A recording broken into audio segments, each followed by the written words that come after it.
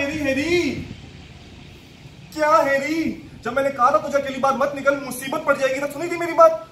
तब तो तुझे लग रही सी, हैरी कुत्ता भोग रहा है। भू भू, कुत्ता भोग रहा है। हट जा यार, एक मिनट यार, माइंड ऑफ़ हो रहा है एकदम यार।